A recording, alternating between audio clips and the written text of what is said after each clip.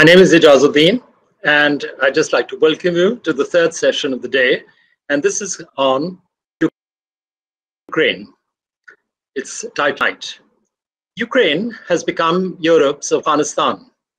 Nothing brought this into sharper focus than CNN's correspondent's spontaneous reaction on watching an exodus of fair Ukrainians crowding onto a train.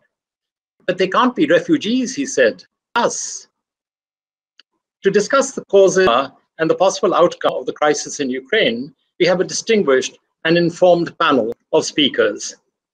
Marci Shore, an associate professor of intellectual history at Yale, is the author of a number of books on post-communism East Europe, East Europe, including Ukrainian Night, The Taste of Ashes, and Caviar and Ashes, which won a National Jewish Book Award. He would be accompanied by Viktoras Bachmetjevas. Viktoras is a philosopher with an interest in the intersection of ethics and religion. He's Lithuanian by origin.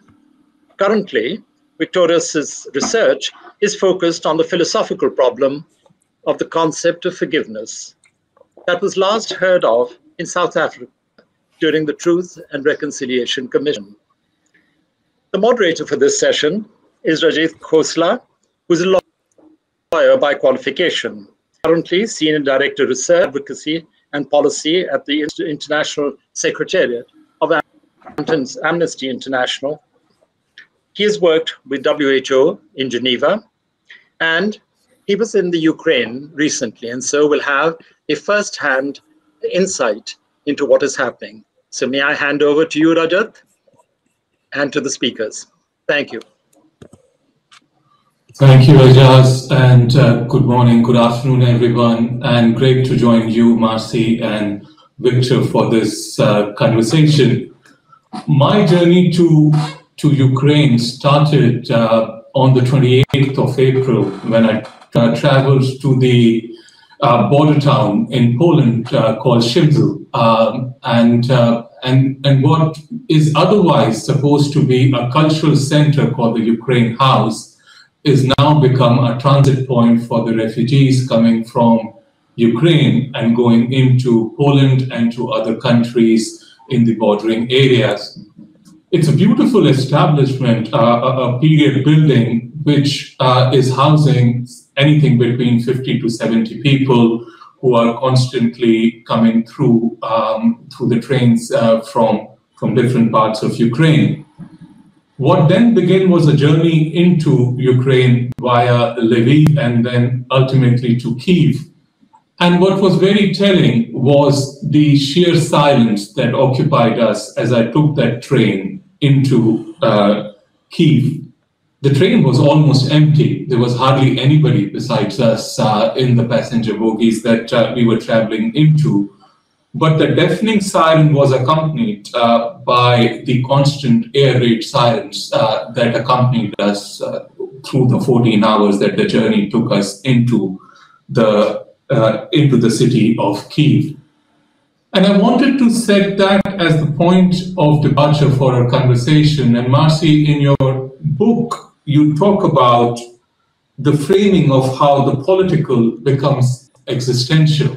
And you start by describing the, the revolution that started uh, from the Maidan in 2014 and how the lived realities of individuals got entangled in the revolution that it became and how Maidan got to have uh, occupied this significance in the lives of Ukrainians and I wanted to start by therefore asking you, Marci and Viktoras, to share your own personal reflections on what you see as happening in Ukraine today. May I start with you, Marci, first, and then we go to you, Victor? Sure. Thank you for the question. I mean, I should first I should first say that I'm, of course, I'm not a neutral observer. You know, I'm not Ukrainian. I don't come from Ukraine. I'm American. I'm an American Slavicist. But these are my friends and colleagues being slaughtered, you know, and so as, as full disclosure, I can't I can't look at it with a kind of neutrality I mean, in some sense, I feel like the world is divided fundamentally less by race or ethnicity and nationality and more by people we know personally and people we don't know personally. And when they're people you know personally, it's very hard to kind of keep any kind of a distance. Um, what I see, you know, and what I, I hear from my friends who I compulsively check on is an extraordinary kind of solidarity, which was the miracle of the Maidan. I mean, what captured me about the Maidan was that it was not only a political transformation, it was an existential transformation. I was watching people change, you know, in front of me. People I had known for years were becoming different people. They were finding some things in themselves they didn't know they had. They were being pushed to the other side of fear in ways they would not have anticipated you know, they were finding in themselves kind of reservoirs of, of, generosity and courage they would not have expected from themselves a few months earlier. In that sense, when when this war came, I knew that they would fight. I didn't know I didn't know that whether or not Putin would invade which was the question that all the journalists wanted to know, you know, in the especially the week or two leading up to the war. You know, what's going to happen? Is he going to invade? Is he going to invade? I had no privileged access, but I did feel certain that if he did, Ukrainians would fight. I had no military knowledge. I couldn't make any military prediction, but I understood that this was now a society that was not going to submit to living under Putin's neo totalitarianism. And that goes for people whose, whose stronger language is Ukrainian, people whose stronger language is Russian. That goes for people of different generations. You know, I didn't think, and I think I was, my suspicions were right about that, that there was any real demographic in that country who wanted to live under Putin's fascist regime. Thank you. Thank you very much, Marci. And indeed, it, it, it was very, very heartening to see how people change, but they maintained their generosity even in the face of this uh, uh attack on their president. Viktoras, over to you. How do you see the present situation? Well, I I think uh, yeah I I of course I agree with uh, everything what Marci said, but I also think it is important to qualify uh, this war because I, I think uh, especially in the West, but also uh, globally, I can see a lot of people um, questioning uh, the very reasons for this war. And I think it is important to say that this is a colonial war, pure and simple. This is a colonial war par excellence. This is an imperial power trying to colonize a territory which it decided that it's uh, is its own.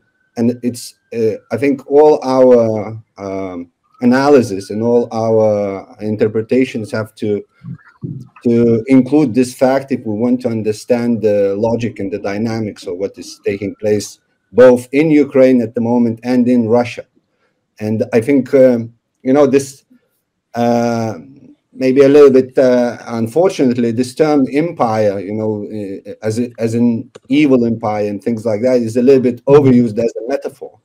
But uh, I think uh, it is important to stress that uh, Russia is an empire, an empire in a political sense of the term. Uh, even its setup at the moment as Russian Federation is is a collection of of colonies which have been uh, submitted by the so-called titular uh, nation, and so um, uh, the Russian political mentality, if you will, and Russian definitely state mentality is an imperial mentality. And so, what is happening at the moment in Ukraine is just trying to um, take back what they consider to be uh, uh, their own colony. I think uh, there is more to that.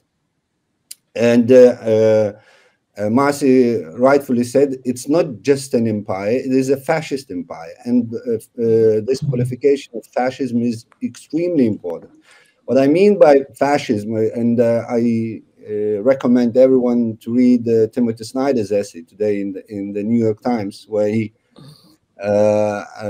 puts it very eloquently. But I think what is important here is that not all uh, colonial powers would colonize um, uh, uh, foreign territories with, with a blatant attempt to deny uh, identities or even to completely extinguish the, the local population. But fascists, they do. And that's what's happening now in Ukraine. Russia completely denies Ukrainian identity. It has decided for itself that Ukraine is an artificial artificial construct, is a complete uh, uh, uh phantasm, and uh, uh, that is also looking from outside is quite difficult and to understand if we disregard that this is a fascist empire which is trying to colonize a territory. And I think it is extremely important uh, because uh, if we disregard that, then we can uh, then it might look like some strange regional conflict of of uh, two countries or th things like that. But this, I, I think, uh, this uh, we have to interpret it as a colonial war.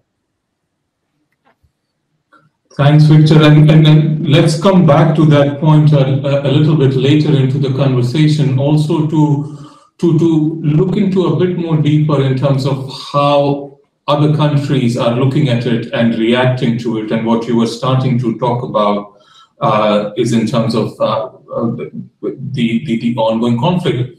But if I may turn to something that you both have started talking about already, and and and and for you to reflect further on what do you think precipitated this? So, sure, the colonist ambitions uh, of uh, of, of, of President Putin could, could be very well one. Um, and, and are there other factors that are interplaying uh, in the sense that this conflict is being precipitated through? Um, and should we have seen this coming? Um, and Marci, you, uh, in your description of the 2014 re uh, revolution, you talk about how the revolution emerged, what it meant for the changes in lives of people, and how it built through a societal structure, you know, that, that wasn't going to take it uh, sitting down. Um, but, but what happened here? Because from, from any stretch of imagination, this is rather unprecedented if you see from the perspective of that is an outright aggression, a violation of all the standards and norms of international law by a sitting permanent member of the Security Council. Should we have seen this coming? As a historian, my feeling is always that everything is possible and anything is possible. A few days before the invasion, yeah, my my my 11 year old son kept asking me, you know, like, "Mommy, is Putin going to invade Ukraine? Is Putin going to invade Ukraine?" And I said, "I don't know. It's possible. I don't know." I definitely felt like it was a decision in the hands of one man. Um, that made it especially capricious, who was becoming more and more removed from reality. When I listened to the speech that he gave on Monday, February 21st, telling the Ukrainians, "Oh, you want you want decommunization? Well, we'll show you decommunization. We'll wipe you off the map he sounded to me, and I'm not a native Russian speaker, so take this with a grain of salt, but he sounded much more unhinged and deranged, mm. you know, even than he had sounded eight years ago. If you listen to the Crimea speech, you know, it's it's lies, it's false, it's manipulated, but there's a kind of shrewd cynicism in it. I mean, you feel like mm. you're you're dealing with a kind of master chess player. The speech he gave a couple days before he invaded, he clearly seemed crazed and capable of anything. And the system is so vertical, you know, that it seemed very conceivable. It could be the decision could be in the hands of one man. Now, of course, the corollary question to that is why does everybody else go along with it? I my my friend Slava Vakarchuk, who's Ukrainian rock star, and who has been incredibly brave and just incredibly good and trying to go around the country and and give people hope, you know, and shore up morale and very committed. He he called a couple days before the invasion. I don't think he'd mind my sharing this. And I said, mm-hmm. Slava, how what's the atmosphere like in Kiev? How does it feel now?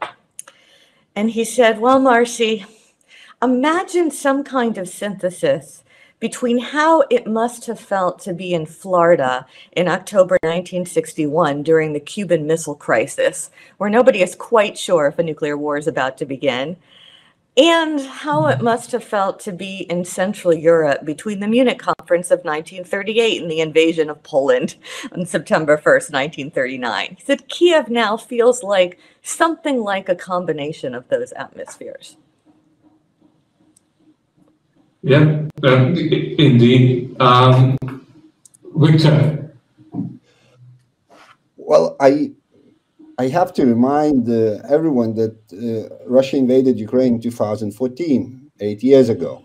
Uh, it was a military invasion. It was an annexation of a large part of uh, Ukraine, and there was a military conflict and in another part of Ukraine in Donbass for uh, last eight years. And there was a ceasefire only because Ukraine submitted to the pressure uh, from mainly France and Germany.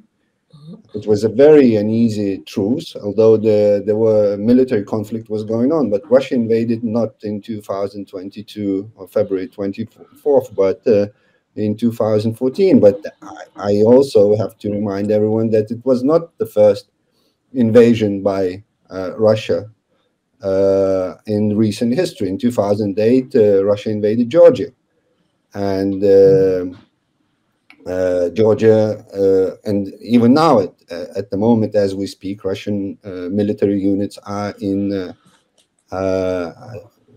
in parts of Georgia. so to say that uh, we haven't seen this coming uh, is to say that we have not been looking. We have mm. not been observing this region of the world. That it's as simple as that. For me, as an Eastern European, as someone who is uh, who, lives in this region, is it is uh, also I have to admit a little bit tiresome because uh, uh, we are as Eastern Europeans used to be accused of, Russo, of, of being Russophobes and, and, and whatnot in the West. Uh, mm-hmm. although the only thing we have been trying to say all this time, since basically the second uh, uh, Chechen war, that Russia is a dangerous country, dangerous to its neighbors, and that it completely disregards human rights and and uh, uh, both among its citizens but also abroad you know, Russia was killing uh, uh, and using chemical weapons in United Kingdom uh, a few years ago. And so it's it, it, it, to say that we're surprised by by what Russia is doing now is to say that uh, you know we we have not been watching at all. Um, in that sense, I'm not surprised. I think what uh, uh, what of course everyone is discussing and is that the scale of the invasion Mm-hmm. And of course, the the scale of the brutalities, uh, mm-hmm. the crimes uh, against humanity and the war crimes which have been documented, they are now in the thousands. Uh, in uh, and the war has been uh, uh, going on not even for three months. This is unprecedented, even uh, looking global in in the last uh, hundred years. I think Marci will correct me if I'm wrong, but that I think is quite surprising because it shows a complete disregard for any norms. You know, when to start bombing Kiev when you know that uh, uh, Secretary General of United Nations is visiting Kiev, and to do that blatantly is, is just to show that we really do not care about anything, about anything. So in that sense, uh, of course, it is a little bit surprising, but I have to say even more surprising is even after all of this, after the uh, Bucha massacres, after all this uh, complete disruption, after blocking uh, uh, Ukrainian ports and basically causing food crisis in Africa, that uh, some Western powers, and here I have to mention France and Germany and Italy, they still think how to save, how to help save Putin's face. Uh, that is uh, that is really surprising to me. I mean, uh, I really try to understand the logic of it, and I, I and I can't. No, it is it is indeed logic defying, and uh, and you do raise an important point, which is about the scale of violations that we are talking about. When I was there, and in our conversation with the prosecutor general, we were told at at that point in time, which is already two weeks ago, that there was something in the tune of 9,600 alleged violations that they were investigating, um, and which is which is a phenomenal number to be talking about. And I would like to come back to that in a moment when uh, and and, and uh, discuss with you further the idea of justice and then the idea of forgiveness and what what those might mean within the context of the present conflict. But I wanted to turn to another issue, um, and you mentioned Bucha and the massacre in Bucha um, that happened. And I did visit Bucha and I did visit Borodianka as well, two towns at the outskirts of uh, Kiev. And as, as those of you who know, uh, those these two towns were occupied by Russian forces for a period of time. The kind of indiscriminate attack uh, that we witnessed in Borodianka is uh, is, is pretty phenomenal. We are looking at over a hundred housing units, buildings being completely destroyed. And one could only imagine the kind of payloads that they must be dropping at those establishments and what it means. But what I wanted to focus on is also the survivors, the victims of this conflict. And we spoke to a number of them uh, while I was there, and we spoke to uh, a group of men who used to live in those establishments that they were there and whose houses has been blown apart and who lost family members as uh, as, as a consequence uh, of this conflict. You know, some lost five, some lost three, some two, um, but everybody had lost family members uh, in those uh, attacks. And then there was there was you know, incidents in Bucha, which were essentially extrajudicial executions, where men were essentially uh, dragged to the square and shot at point blank range um, by the Russian forces. And there is very clear evidence to demonstrate who made these attacks and what constituted to this. And as you look at these lives that have been completely ripped apart and families of individuals who who just don't know what's happening and who just don't know what will happen to them in the future because the conflict is still going on. One does struggle to understand what would justice look like? What would an idea of justice for these victims that are looking completely with blank eyes into their, you know, what used to be their houses once, um, and reflecting upon what future might behold for them and I wanted to turn to you, and both of you, uh, uh, you know, uh, as authors have talked about these issues in different contexts, is how do you see justice for these ordinary Ukrainians beyond the political theater uh, that will happen eventually when it will happen? What would a meaningful justice approach look like? And is forgiveness even a possibility? Marci, do you want to go on first? Um, yeah, no, I've been thinking about that, and I've I've talked to some international lawyers, and I suppose the thing that's so wrenching that we all see is that justice, if it occurs, always comes too late. It's a little bit like Hegel's Owl of Minerva. You know, it always comes too late. I was thinking a lot about, for instance, Slavenka Drakulic's wonderful book about the, the war criminals from the Yugoslav wars of ethnic cleansing. And she's a Croatian writer. You know, after the wars, she went and she listened to these trials in The Hague, and she wrote this book um, called They Would Never Hurt a Fly with profiles and biographical profiles trying to understand how these people found themselves in this situation. And you know, those guys, you know, Milosevic and his people, you know, they were tried in The Hague, but only after it was all over. It always comes too late. You know, and I don't I don't think in some sense there can ever be adequate justice once you've you've destroyed people's lives. You've taken their children, you've taken their parents. Those children are going to be traumatized, you know, forever. Like there's no there's no compensation, you know, that can possibly be adequate. And the frustration then is that why, you know, at this point in human history are we unable to stop things in, in real time. You know, many people are asking me about the Nuremberg trials. People are asking me because I'm a historian and normally I work on the 20th century, not on the 21st century. How is this different from the Second World War? And I, I said, we're it, it, internet. We're watching it in real time.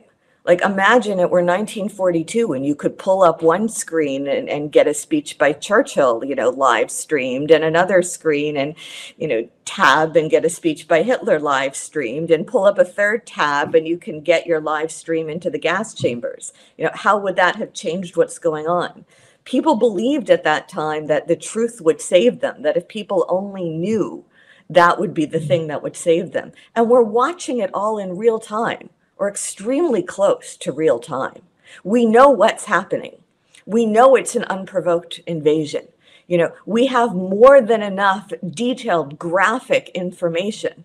You know, and, and we're we're watching you know, children's hospitals be bombed and kindergartens and maternity wards and children buried under rubble. We're watching it in real time. Why are we so why are we so powerless in real time? You know, and if we can talk about justice coming, but it seems like it's only coming like Owl, Hegel's Owl of Minerva. It's coming too late. It's coming when it's over. And and and I, the, what I'm tearing my hair about is why can't we make it stop now? Yeah, and, and no, absolutely. And I have to say, um, and that was coming into our conversation today, and while we were in Ukraine, one of the things that I was particularly taken aback by how much of this war is fought both on the front lines in the south and the east of the country, but also um, on, on social media, the level of propaganda. And if you look at some of the Telegram channels that are being used uh, to, to, to, to, parade the, the graphic images of, of the horrors of the war, it is very stunning. But indeed, mm-hmm. what does that mean in terms of our inability to stop what is going on, but also to develop any sense of justice. Victor, what do you make of it?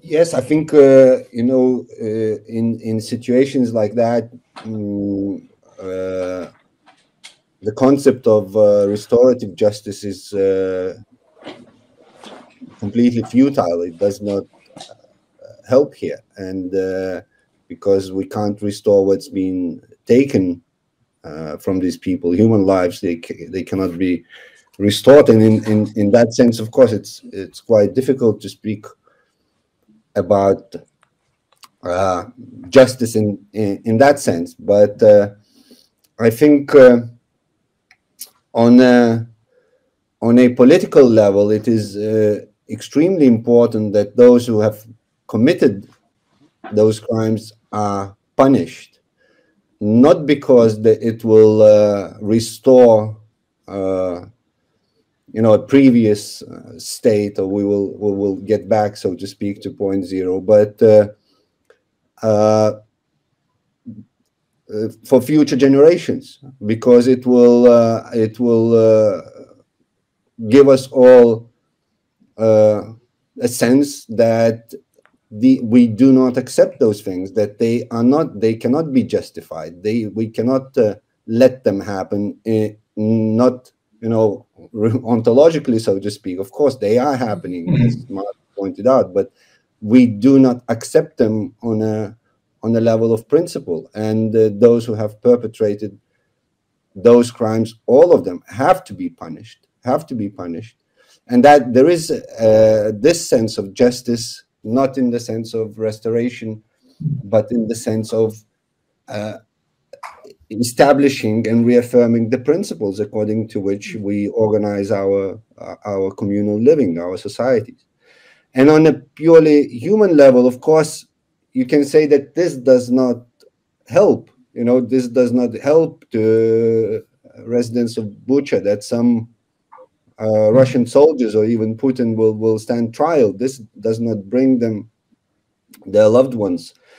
Uh, uh, of course, but I think there is something that uh, these people, at least most of them, have is that they know that their cause is right and they know what they are fighting for. And this is extremely important, I think, because this is the basis for hope.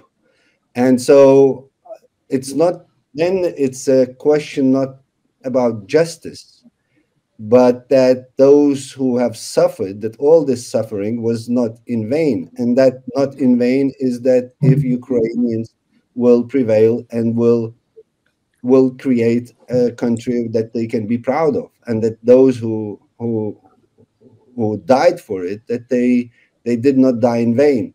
And so here i would try to speak of of uh, more of uh, in terms of hope rather than uh, justice. And and uh, and the, your final uh, point about uh, forgiveness is forgiveness possible? I think again on the, on the level of principle forgiveness is always possible is always possible and uh, you know at least in the western culture we we even talk about our duty to forgive. So we uh, uh, there is this tradition of what to to think that it is not only possible to forgive but we have to strive towards forgiveness. We have to try to forgive. It is our moral duty. Uh, so of course it is possible, and uh, even uh, uh, Ukrainians speak about that. But there is, I think, uh, a very important aspect here is that it is too early to speak about it. It is too early to speak about it because the crime hasn't finished yet. you know, you know what I mean. It's just that it's it's not the time of forgiveness now the time is that we have to stop this crime, which is taking place at the moment in Ukraine. And so I think I follow, and of course I know quite a lot of uh, people in uh, uh democratic Russian opposition, and I think at least some of them. I'm of course I'm not generalizing, and uh, it's it's vast and varied, but uh, at least some of them I think they uh, exhibit this uh, lack of sensitivity when they start speaking about uh, about forgiveness or about future friendship of Russians and Ukrainians or how how we gonna construct our relations when this is all is finished. But I think it is lack of sensitivity because for Ukrainians it's it, this hypothetical is just um, is, is not just not right, but it's almost offensive because crime is taking place now. So our all thoughts and energies should be spent not about thinking how Ukrainians will forgive us or, or them or whoever, but about how to stop the suffering. And and then the question of forgiveness, reconciliation, and things like that will come, but their turn will come. But I, I don't think it is the time yet. Mm. No, uh, well said, uh, Victor. And I think uh, I think while while we are still struggling to make sense of what is going on, and with with little little hope of an end in sight um, for this war, one one is quite struck with with how resilient the common person is in sight of the levels of adversity that they are confronted with. And I guess before we come to forgiveness, we need to start as, as Elie Wiesel uh, once said, by listening to each other and by trying to understand what is going on.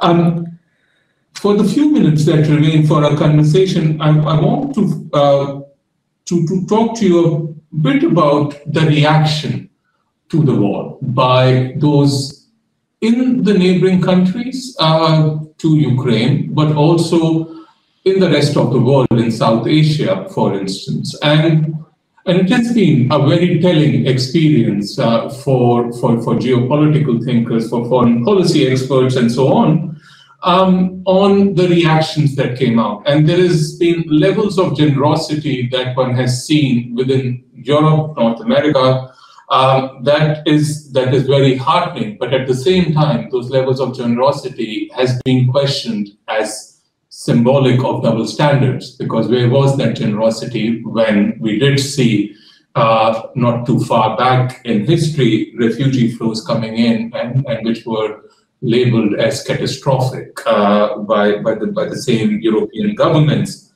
That being one part of the picture.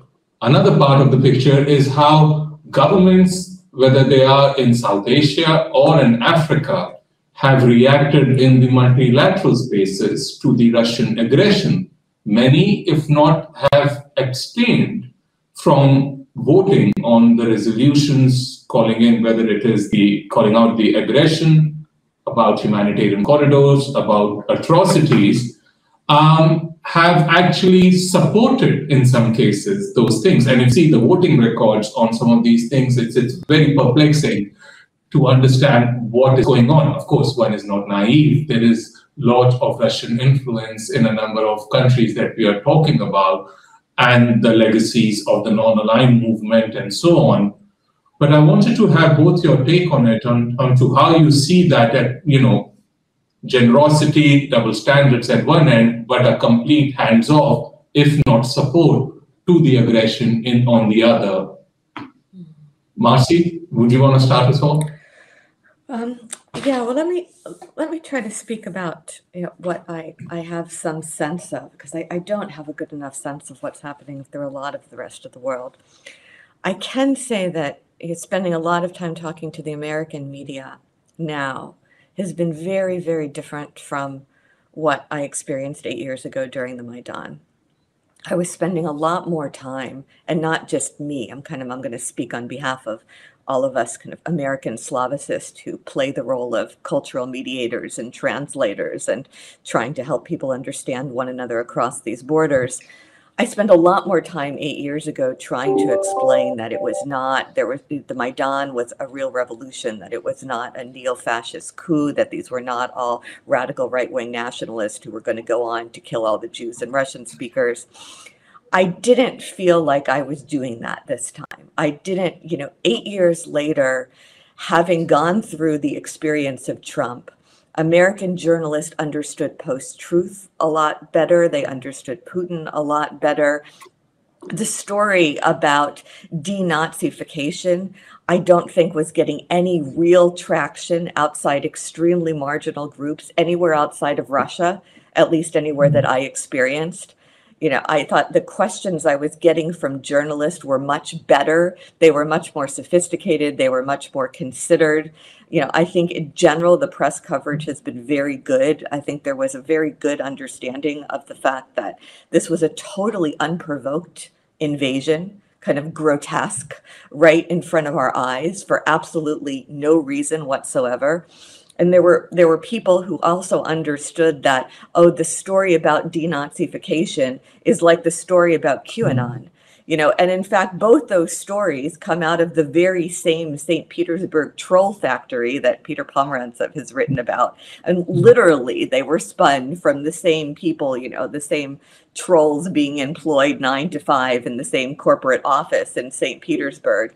And americans have now seen people go down that rabbit hole of qanon they've seen mm-hmm. families broken mm-hmm. up you know by people who you know split on that on the trump issue you know and they have some sense now of how that kind of manipulation and internet manipulation might be working in russia so I felt like there was a lot of questions about can you get into the Russian informational space? Do Russians really believe this? But I didn't feel like I had to spend very much time at all explaining to mm-hmm. anybody that you know there was not actually a Nazi you know a Nazi regime going on in Kiev and that they were not massacring the native Russian speakers and in fact you know the president was a Jew who himself is a native Russian speaker who has given incredibly well pitched and heartbreakingly wrenching you know speeches and addresses in russian to russian soldiers you know and to russian mm-hmm. families.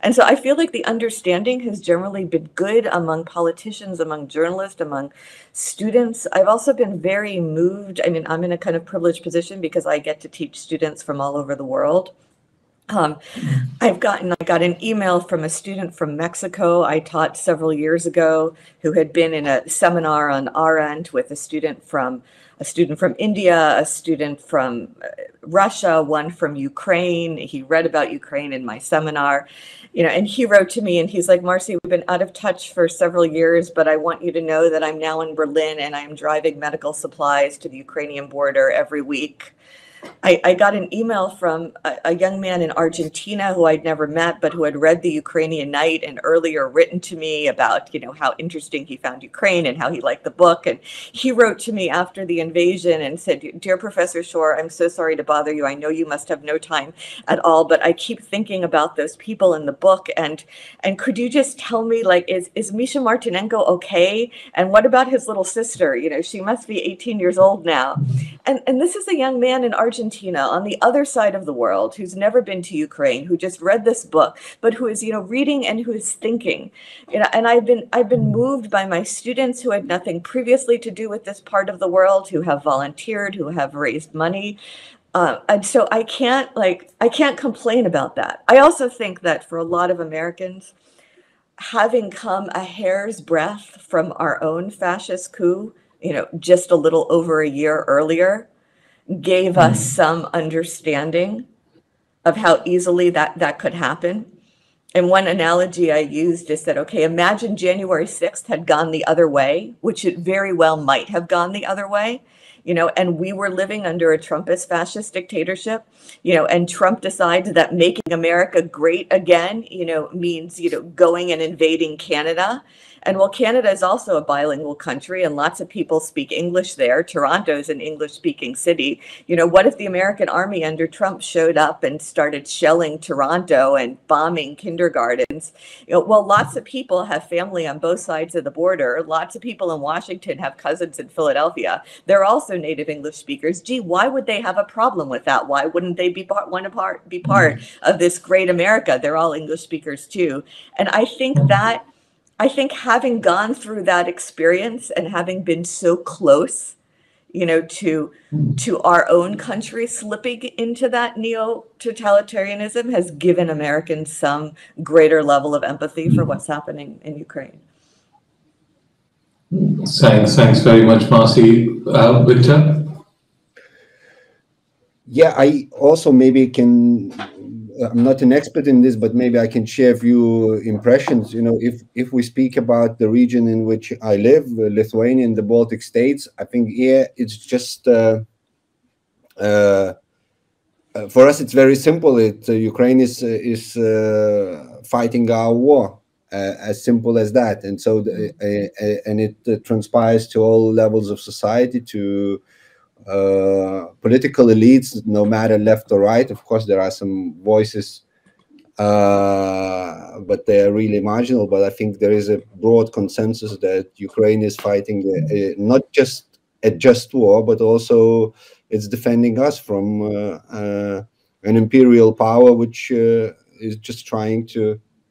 And if they, if if Russia prevails there, then we'll be next in line. it's as simple as that also, I think maybe with some exceptions, but broadly, I think the same sentiment applies to all the uh, countries of so-called Central Eastern Europe, all those who were once behind the Iron Curtain, who uh, have uh, in living memory experience of of uh, uh, of uh, living in one form or another under the rule of from Moscow. Of course, Hungary is is is an obvious exception to that, but uh, all the others are more or less uh, clear of what's taking place in in Ukraine, and that we have to do everything that is in is in our power that Russia does not win, not only for Ukraine but also for for the whole region. Mm. Uh, I think uh, uh, if we talk about the United States, I think that there there the reaction is, I would call it evolving. I think Uh, although in the in the beginning, uh, United States and Washington were sharing intelligence with Ukrainians, but they were quite reluctant to help uh, militarily. I think there was some doubt if Ukraine will be able to defend uh, itself. But I think after the first few days, when it became clear that Ukrainians are fighting, they're not escaping. I think uh, the the admirable uh, stance of, of the president of Ukraine uh, helped in that regard, but also uh, the whole of the nation. And I think then uh, uh, United States and United Kingdom uh, became quite active in supporting both financially and militarily Ukraine, and I think that that is a very positive development. What is quite disappointing is I would call. Uh, a slow and uh, um, tentative reaction of the uh, big powers in the EU France and Germany first and foremost, uh, Italy to some extent, and uh, I think they uh, they're sending mixed uh, signals. I'm talking here, of course, of the political elites because uh, all the polls show that uh, populations in in these countries are in favor of helping Ukraine much more than their governments do at the moment. Mm. But their governments are sending quite mixed signals. Uh, sometimes saying that you, uh, we should be helping Ukraine, and actually indeed saying that we are helping, and then it turns out that they don't, and uh, keeping some back channels, we're talking to Moscow,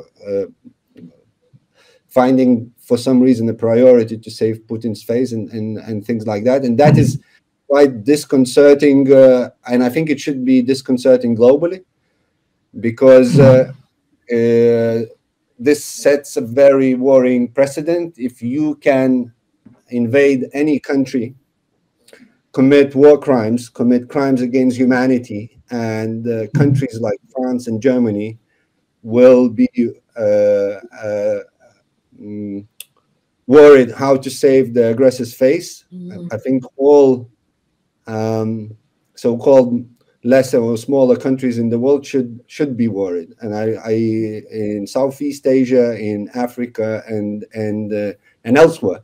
So I think this is. Uh, I'm not sure if the leaders of those countries understand that uh, these things will stay in in in the memories that the world is observing this, and I think they they they mm, making a grave mistake. Uh, hopefully, this will uh, this will change. If I would have to characterize in in in one sentence uh, what's taking place, I would say that Eastern Europe and and the United States of America see as their priority for Ukraine to win, while I think uh, countries like Germany or France they want the uh, the the war to end, and these goals are not uh, the same. Mm. They are not the same. And I think here there is some uh, um, uh, uh, some di some differences. Uh, but mm-hmm. I'm, I would like to stress that I think that all the world who cares about the rule of law, all the world, uh, everyone in the world who cares about uh, uh, human rights, about international law, I think they should insist uh, that Ukraine has to win. That, it, that there can't be uh, any frozen conflict of the sorts mm. that we already have in Georgia, that we had in Ukraine since 2014, because this only encourages the aggressor. I think uh, we have to be very, very clear uh, about it. Thanks, thanks for that picture. We, we're almost out of time, but uh, but I do I think Marci, want us Marci to, wanted to, to add something. Uh, Yes, uh, no, I was going to come to that as well. But I, what I wanted to say was, uh, um, and then to maybe have a, a, final minute of reflection from both of you. If uh, and I know future is hard to predict, and and we don't know what's happening. But if I may ask you for a brief reflection on what would give you hope from where you are mm. sitting right now. Marci, to you first, and then we end with you, Victor. Thank you, Marci. Mm -hmm. Okay, so Yes, finally, first I, I would say that I completely agree with Victor. We're not in a saving face situation. I mean, we're dealing with a mm-hmm. sociopath. We're not dealing with a rational actor. Political scientists like to assume that people will act rationally. I mean, historians know that history is just drenched with examples of people acting irrationally. You know, I, we've watched Putin level Grozny, level Aleppo, you know, now Kharkiv and Mariupol. I think he, it, it has to be decisive. He has to be gone. That regime has to fall. Ukraine has to win decisively. It's not a let's negotiate type of situation.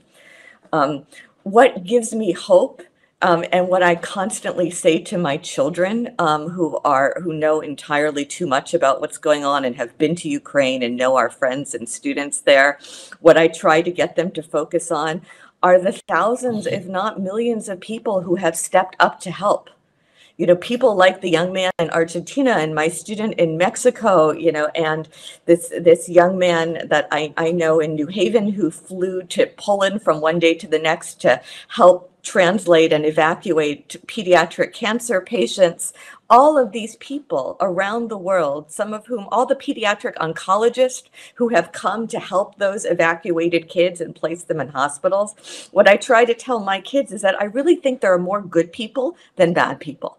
You know, I really think the mm. number of people who are trying to help save people is greater than the number of people who are slaughtering and torturing people.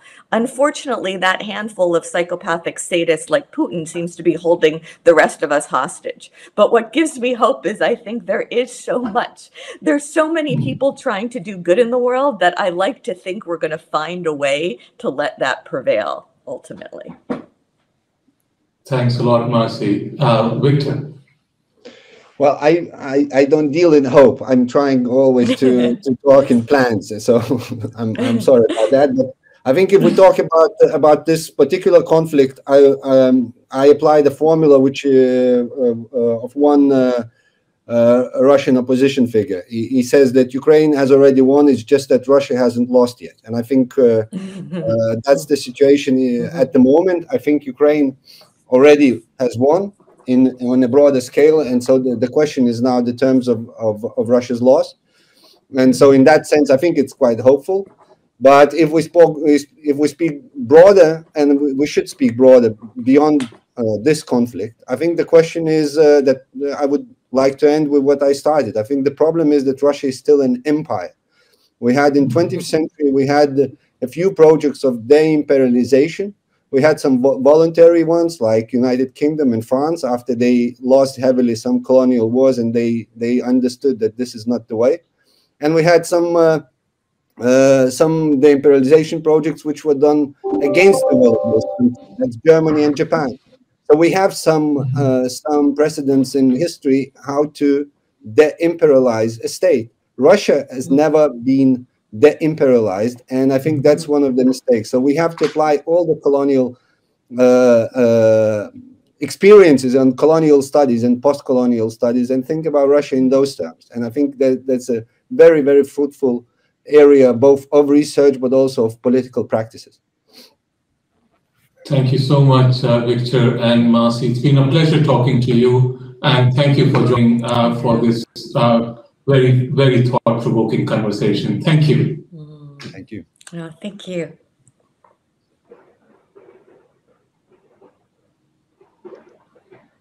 You were listening to a discussion on the Ukraine night, and it was um, moderated by Rajat brilliantly, and it had two eminent speakers, each of whom has provided very moving insights into the current situation in Ukraine.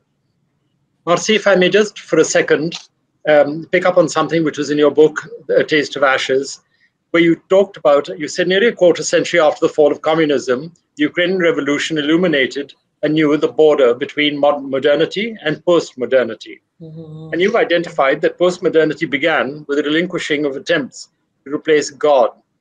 Not only. God was dead, but moreover, there was no one and nothing to replace it. Mm. It reminded me of G.K. Chesterton's famous remark that when man ceases to believe in God, the danger is not that he will believe in nothing, but that he will believe in anything. and if I may, you've cautioned uh, Marci about uh, totalitarianism, and there are numerous examples Trump notwithstanding.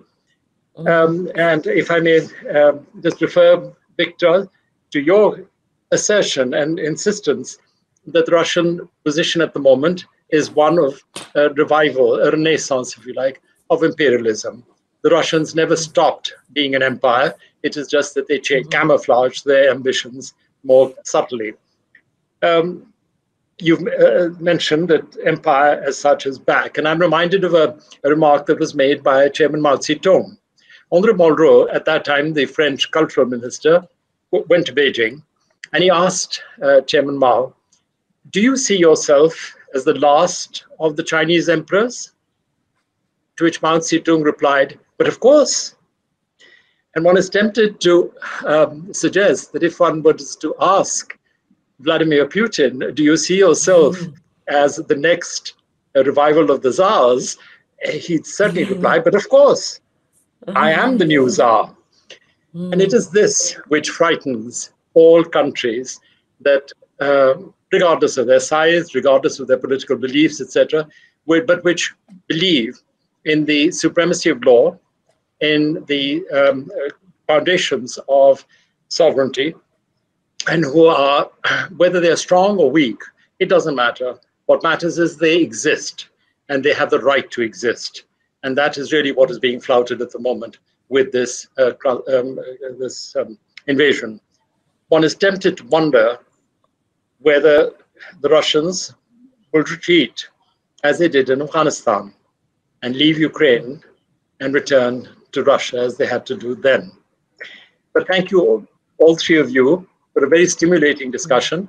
And uh, on behalf of the uh, Khushwant Singh Literary Festival, let me thank you and the listeners for uh, participating in this extremely uh, timely and thought-provoking discussion. Thank you. Thank you. Mm, thank you.